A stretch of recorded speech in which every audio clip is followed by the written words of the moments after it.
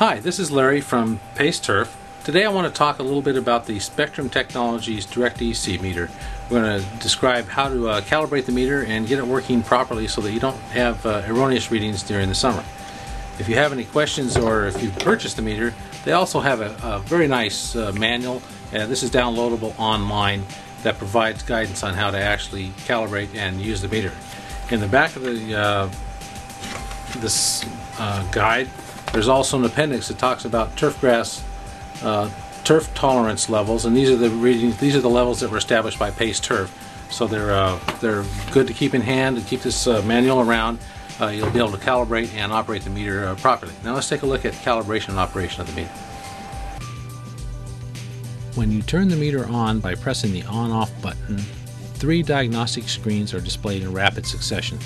Ignore these displays for now unless you have a problem with your meter. The standard display includes a battery life indicator in the upper left corner, ATC automatic temperature control in the upper right corner, and the abbreviation MEAS indicating that the meter is in measurement mode on the left side above the larger electrical conductivity or EC value. Below the larger numbers should be an indicator, a small indicator. Uh, it's a small m and a capital S indicating millisiemens. If a microsiemens symbol is displayed, that's a small u with a capital S, you need to change some of the meter settings as described later in this video. Temperature is displayed at the bottom of the display in either Fahrenheit or centigrade. To get ready to calibrate the meter, you need to unscrew the watertight cap at the top of the meter. Once the cap is removed, you'll see batteries and two small buttons. These buttons are used to either increase or decrease the values on the display to match the EC of the standard solution. When the meter is held with the batteries below the buttons, the button on the right increases the meter values and the button on the left decreases the meter values to match the standard solutions. Calibration is pretty easy using the standard 2.764 solution that came with the meter. You can order more of this solution as you need it. What I like to do uh, is pour a little bit into a cup, small cup, this is like a salsa cup. If you uh, go to Mexican food restaurants, sometimes they'll have some of those left over. Uh, you take a few of those, and you just uh, immerse the probe into the end of the solution, uh, and don't let the probe touch any of the areas of of the uh, bottom or sides of the uh, small cup when you're doing this calibration. So all you need to do is take your meter. You've already taken the top off, as we described earlier. The increase button on the right, decrease button on the left when we turn it on, we'll get a, a reading when we put the uh, cup in, into the solution, and we'll adjust the reading to match that 2.764 reading. Uh, for convenience, I've, I've placed the probe into the 2.76 calibration solution so I can use both hands to work with the meter. But if you turn the meter on,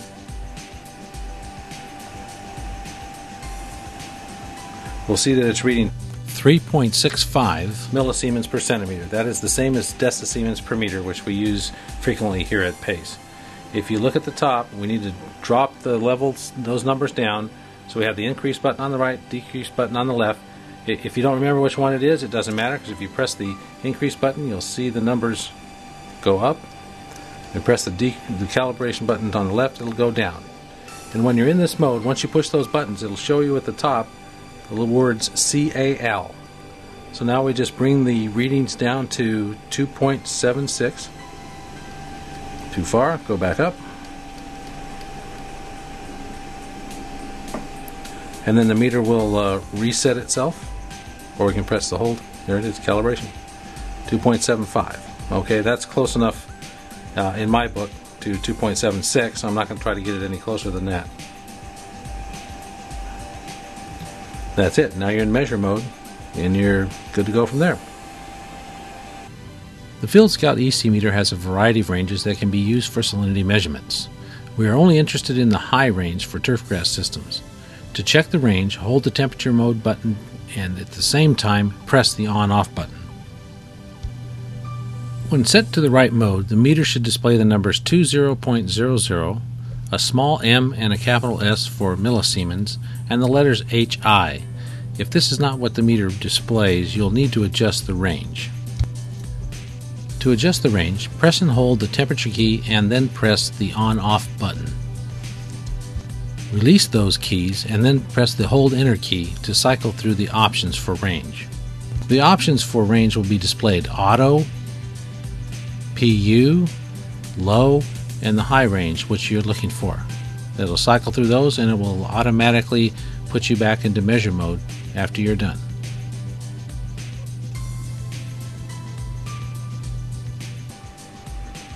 There's a small chance that your your meter might be set up for a different type of calibration system uh, that we need for what is described in this uh, video.